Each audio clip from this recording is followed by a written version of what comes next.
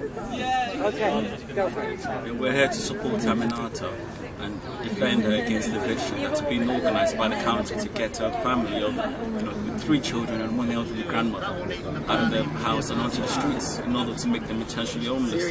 You know, we've got a situation that's been going on for over three years now. They've been moved around from place to place, irregardless of the family's condition and there's requirements for education, for kids' education, the fact that the lady is a single mother looking after three kids and, and the mother and also having to work. You know, it's quite despicable that six months after the family stood their ground, they're being forced out again, you know, which is technically bullying on the council's behalf. Then frankly refusing to have any level of care to a family that's going to be made vulnerable through the action.